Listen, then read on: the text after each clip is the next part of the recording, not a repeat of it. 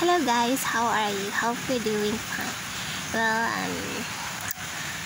uh, I, I had a tough time during my reproductive system as a woman where I got to have this like a little heavy. I got cramps. The first time I had a spotted blood, and then when I see my blood was flowing, overflowing, it's when I feel like it's it's um cramping or contracting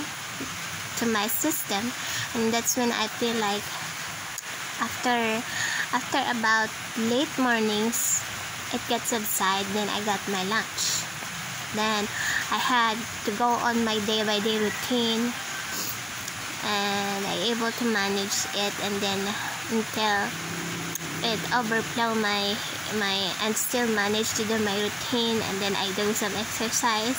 now I'm still at a little bit fat but when I look at in the picture I'm my target my target was I think I've been losing about 4 to 5 kilogram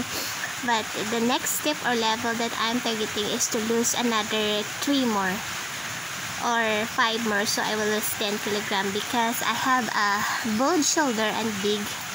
since I'm I'm gaining a lot of uh, um,